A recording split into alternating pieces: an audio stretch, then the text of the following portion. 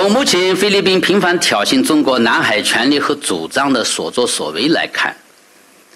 菲律宾新政府不仅没有继承中菲两国在杜特尔特政府时期达成的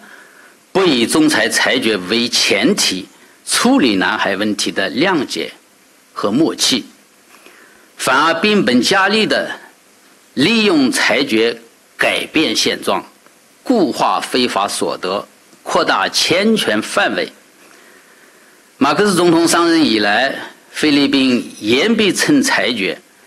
以其作为所谓依据来攻击甚至抹黑中国海警在仁爱礁和黄岩岛的正常的维权举措。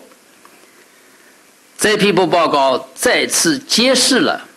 仲裁裁决在法律解释和适用、事实认定、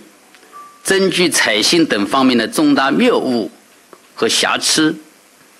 同时阐明中国不接受任何基于裁决的主张和行动，恰恰是维护自身合法权益、维护海上和平稳定、维护国际